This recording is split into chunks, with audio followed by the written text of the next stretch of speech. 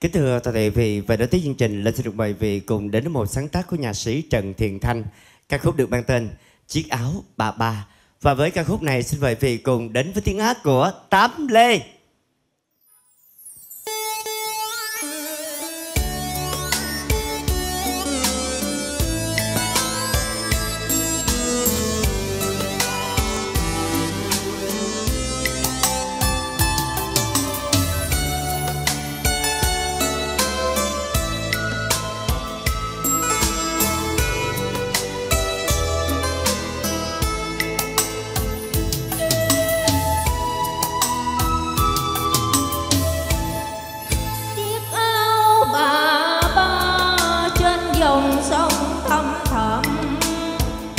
thoáng con xuồng bé nhỏ tới mong manh.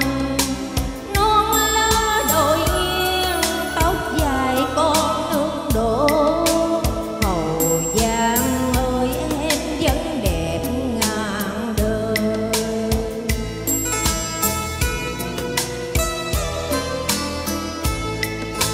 Nhớ chiếc xuồng xưa năm nào trên